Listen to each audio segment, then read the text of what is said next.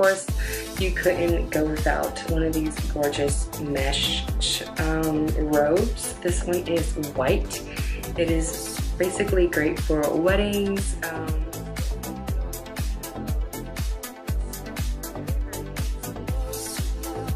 high-waisted brief cheeky panty would have been perfect.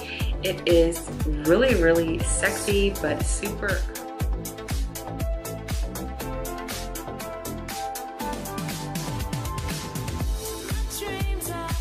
So I like that detail, show a little bit in the back, cover up in the front. Less is always more. And it also has some see-through lace on the um, top of the brief as well.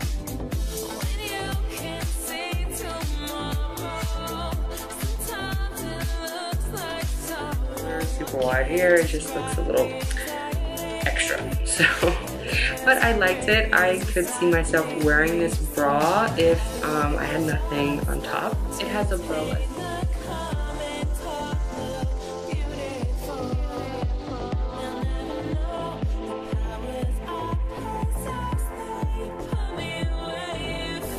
my stretch marks as some of you might know if you've been watching my hauls for a long time.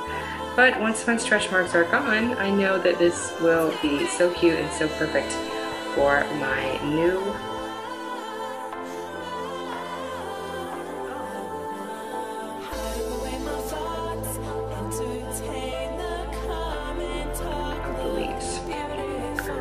So you will see that lace um, going around the bottom. It is scalloped again, and there is a little cream colored bow. I love bows. Size smaller and I usually size up when it comes to trying underwear because well when you got a big bottom and big hips and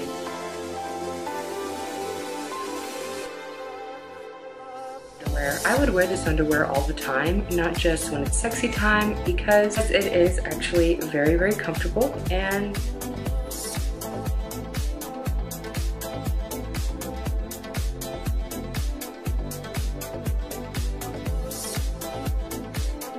smaller boobs than me. Personally, if you like the way that it shapes um, my boobs, I would suggest this one.